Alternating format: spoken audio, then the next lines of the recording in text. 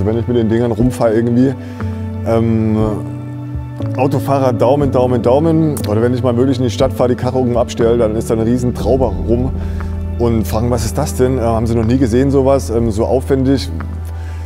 Kriegst du so ein Ding überhaupt zugelassen? Ähm, ich dann, ja, wie gesagt, wenn alles seine Richtigkeit hat, ähm, ist das alles gar kein Problem. Ne? Man muss halt Ideen haben, um, um das alles vernünftig umzusetzen.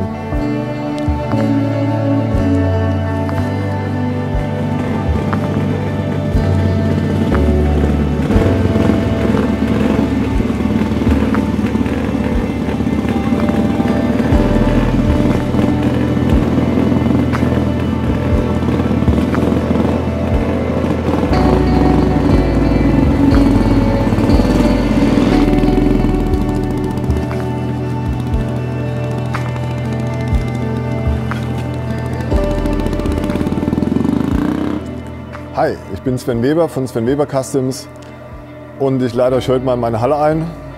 Ich komme aus Bochum, NRW. Ja, und schraube an alten Ostfahrzeugen rum.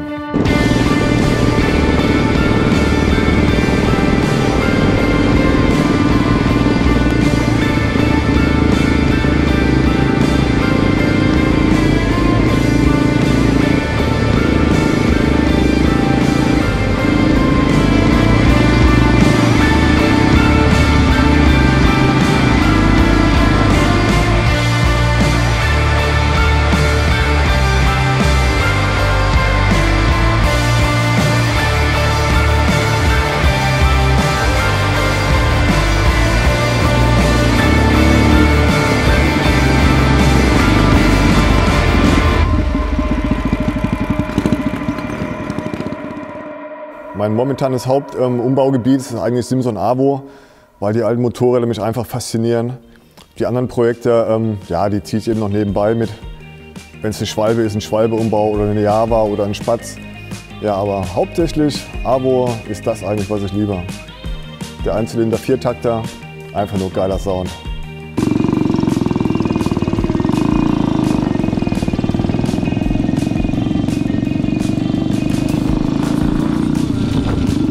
Also die alten Fahrzeuge, die haben noch das gewisse Flair, der Sound von dem Motor. Ich mag einfach die alten Fahrzeuge, die ganze neue, neue Technik und die ganzen neuen Fahrzeuge. Das ist mir einfach zu viel Elektronik und zu viel Schnickschnack irgendwie. Und das alte Zeug ist einfach nur simpel, simpel und gut. Warum nicht einfach aus was Altem was Neues bauen? Also das ist eigentlich das, was mir liegt so. Neues Design entwickeln und mit alter Technik drin.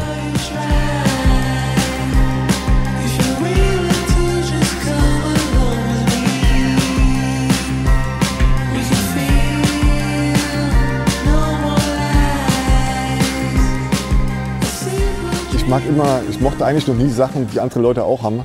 Ich war immer so ein Eigenbrötler und da ich eigentlich ähm, ja, die Möglichkeit habe und, und, die Gabe habe, ähm, eigene Sachen zu designen, zu entwerfen und die auch selber umzubauen, ja, ist das einfach mein Hobby, das ist meine Leidenschaft.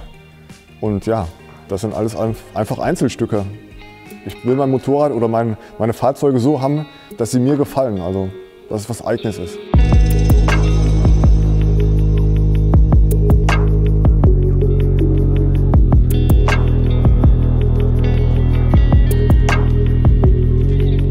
Ja, mit dem Spatz hat damals alles angefangen. Damals mit einem Kumpel telefoniert aus dem Osten wieder mit meinem besten Freund und haben uns über die alten Zeiten drüber unterhalten, wie früher alles angefangen hat.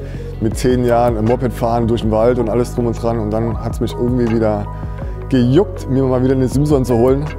Dann habe ich einen alten Spatz gefunden, der war auch total Schrott. Ja, und dann fing es an. Ich wollte den eigentlich nur original wieder aufbauen und dann hat alles überhand genommen erste Tuning-Teil ran, das umgebaut, das umgebaut. Ja, erste Mal auf die Messe gefahren, ersten Preis abgeholt und dann war ich total infiziert. Ja, und dann hat die Sucht ihren Lauf genommen.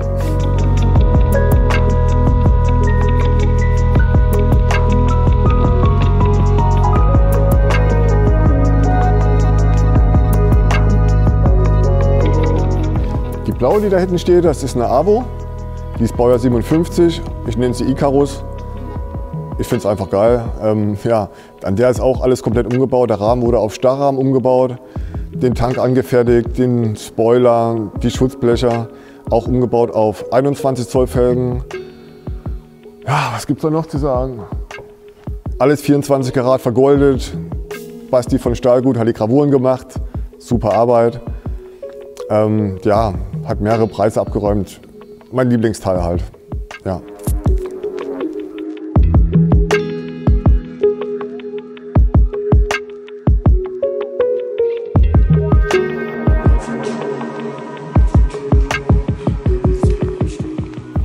Ähm, genau, ja, die schwarze, das ist eine Java 559. Die habe ich Carbonit genannt, weil eben die komplette Verkleidung ähm, mit Echtcarbon bezogen wurde. Ja, die habe ich damals vom Schrottplatz geholt, habe sie also gerettet. Die war absolut katastrophalen Zustand. Habe den ganzen, ganzen Teile alle abgebaut, habe einfach nur den Rahmen verwendet, habe den ein bisschen umgebaut und habe dann eben die ganzen Teile, die jetzt wie Spoiler, Tank, die Sitzhalterungen, die Felgen, einfach alles dazu zugebaut oder designt, was ich eben vorher am Computer eben mache. Ich design mir vorher das Motorrad, so wie es einmal aussehen soll und baue dann mir eben die ganzen Teile aus Blech oder alles so, wie es dann eben sein soll. Ja. Der Motor wurde ein bisschen getuned, eben alle Teile, Blechteile mit Carbon bezogen. Die äh, Radnaben sind von der Laverda, von der 750er größere Felgen drauf gemacht, 19 Zoll Felgen, einen breiten Lenker. Die Lampe vorne ist eine alte Kapitellampe, die wurde dann eben umgebaut zu einem Scheinwerfer. Ja, einfach so, dass es geil ist.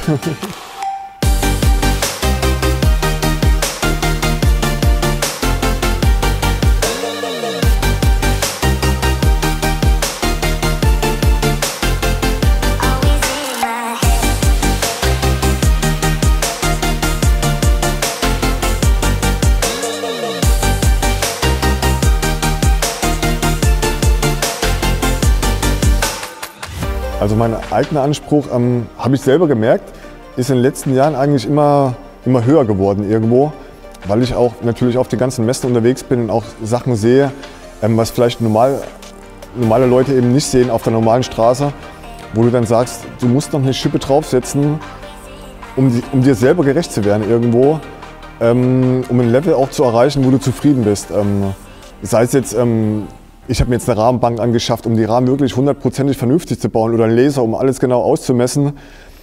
Oder, oder ähm, lass alles von einem Ingenieur nochmal ähm, prüfen, bevor ich ähm, wirklich jetzt was CNC fräsen lasse, ob die Festigkeit stimmt, ob das ähm, alles gegeben ist, um wirklich sicher damit fahren zu können und um die Sachen auch einzutragen. Weil ähm, Tuning-Umbauten gibt es natürlich viele auf, dem, auf, auf den ganzen Messen. Aber die Karren wirst du nie auf der Straße sehen. Und mein Ziel ist es einfach, Custom Bikes zu bauen, die jedermann fahren kann, auch offiziell auf der Straße, wo der TÜV dann sagt, alles ist vernünftig, du kriegst deinen TÜV da drauf, wir tragen dir alles ein. Und das ist eigentlich mein Ziel. Einzigartige Sachen zu bauen, die du auch wirklich ähm, offiziell fahren darfst.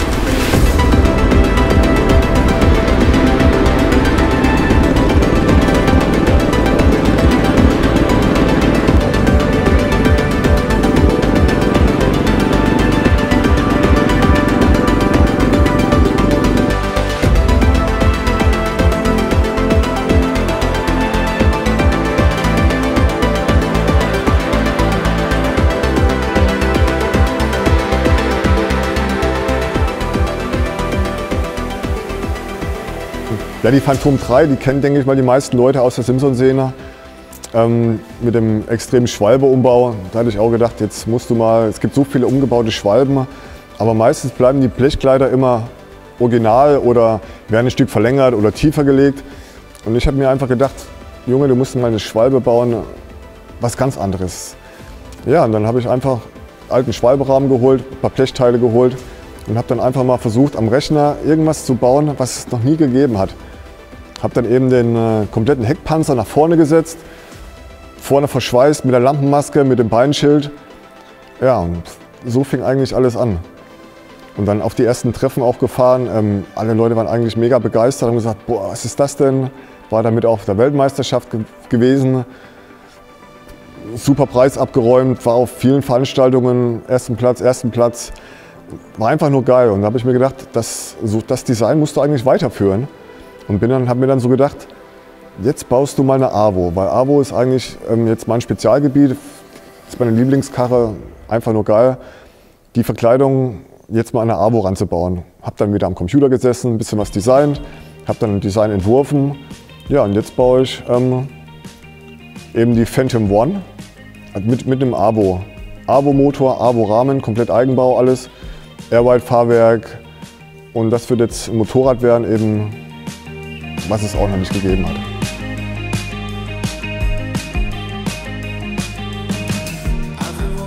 Danke nochmal an alle, die mich unterstützt haben bei dem Projekt. Als erstes Basti von Stahlgut, der auch im Kanal ist. Schaut mal auf sein Video, echt geiler Typ. Der hat die Gravuren gemacht vom Spatz und von der AWO. Dann äh, würde ich mich gerne noch bei meinem Vergolderer bedanken. Ähm, äh, ja, bei wem noch? Ach, es gibt so viele Leute eigentlich, ähm, auf die jetzt gar nicht alle kommen, so auf die schneller. Ähm, Rally, bei dem ich hier in der Halle bin. Richtig geiler Typ, wenn ich mal was brauche. Der hilft mir immer. Ja, und eigentlich sonst allen anderen Leuten, die mich unterstützt haben bei den ganzen Projekten, bei meiner Zeit, die mir mal mit Rat und Tat zur Seite standen.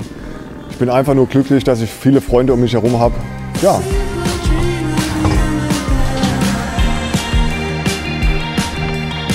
Danke fürs Zuschauen. Wenn euch das Video gefallen hat, lasst einfach ein Like da oder schreibt in die Kommentare, wie euch die Bikes gefallen.